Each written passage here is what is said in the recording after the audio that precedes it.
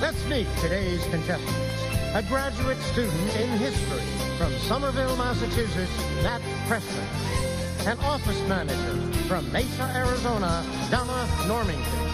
And our returning champion, a student from Naples, Florida, Sasha.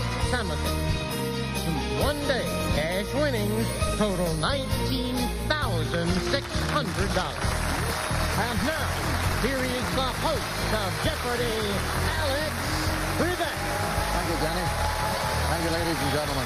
Hi, folks. Good to have you with us again today. This is the third week in a row, I believe, in which a champion on Friday was unable to defend successfully the following Monday. And as a result, we have Sasha, the new champion. Will he be the champion at the end of the week?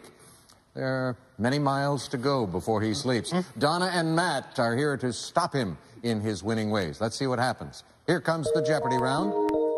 First round of play today has these categories. New York politicians. Next.